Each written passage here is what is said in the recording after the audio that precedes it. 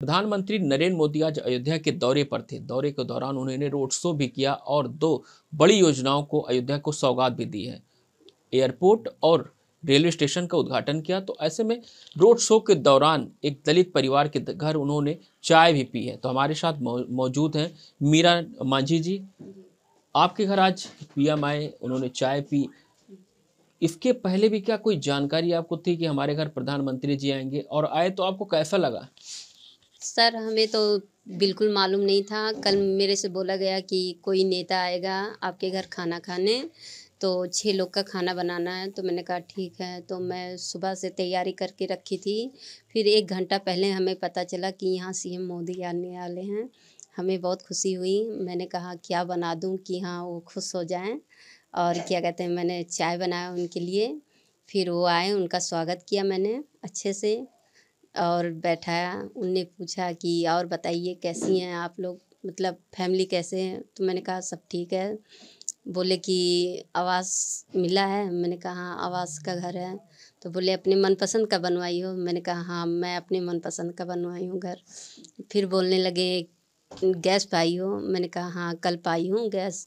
तो बोले, क्या भोजन बना? नए गैस पाई तो क्या भोजन बना? मैंने कहा, दाल, चावल, सब्ज़ी। तो बोले, और? मैंने कहा, आपके लिए चाय बनाई हूँ। तो बोले कि अरे भाई ठंड का मौसम है लाइए चाय पिलाइए। मैंने उनको चाय दिया। मेरे चाय की तारीफ़ उनने की। बोले थोड़ी मीठी हो गई है पर बहुत अच्छी है। कितनी खुशी होती है क्योंकि प्रधानमंत्री अयोध्या के दौरे पर थे ऐसे तमाम मकान थे दलित परिवार थे लेकिन आपको ही चुना। जी मालूम नहीं क्यों चुना।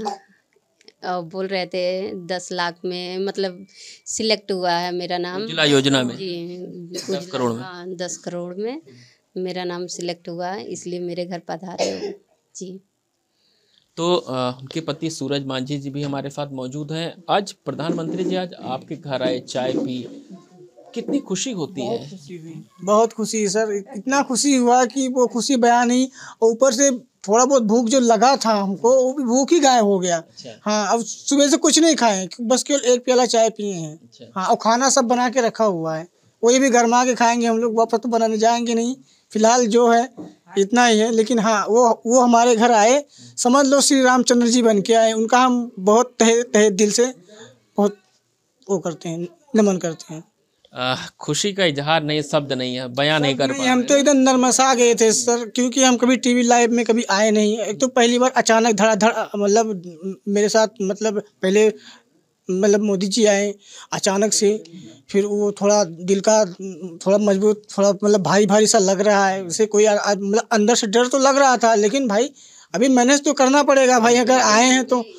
तो इसीलिए जो है अपने आप को संभालते हुए मतलब जो है, फिर मेरे माता पिता जी भी सब लोग साथ में ही थे, थोड़ा हिम्मत बना हुआ था कि हाँ चलो ठीक है, आएँगे तो दो बात हमसे करेंगे, दो बात मेरी वाइफ से करेंगे, दो बात मेरे माता पिता जी से करेंगे। तो इसीलिए हिम्मत बना के जो मतलब उन्होंने जो जो हमसे पूछा हमने उनको सही से सब जवाब उत्तर दिया। भावुक हो गए थे आप पूरी तरह। भावुक हो गए थे और थोड़ा नरमसा भी गए थे थोड़ा आँख से थोड़ा थोड़ा आँसू भी आ गया लेकिन वो आँसू खुशी के थे। अच्छा। हाँ ऐसी बात नहीं है लेकिन आँसू खुशी के थे।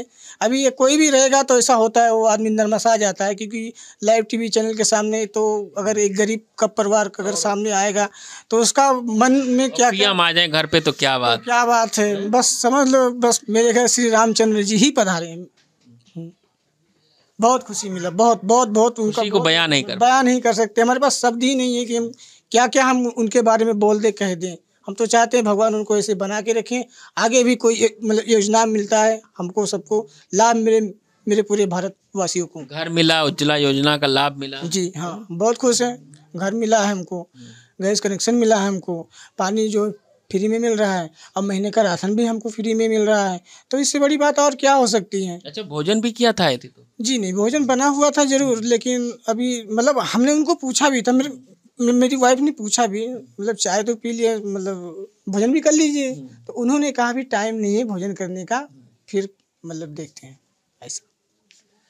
तो ये थे सूरज मांझी जिनका साफ़ कहना कि आज हमारे पास शब्द नहीं है बयां करने की कि आज हमारे घर प्रधानमंत्री नहीं भगवान श्री राम आए। तो मुख्यमंत्री के साथ प्रधानमंत्री भी अयोध्या पहुँचे थे और रोड शो किया। रोड शो के दौरान एक दलित परिवार के घर उन्होंने चाय पी और दलित परिवार का यह भी कहना कि मोदी जी नहीं, हमारे घर भगवान आए थे। अयोध्या से एबीपी न्यूज़ के लिए ऋषि गुप्ता।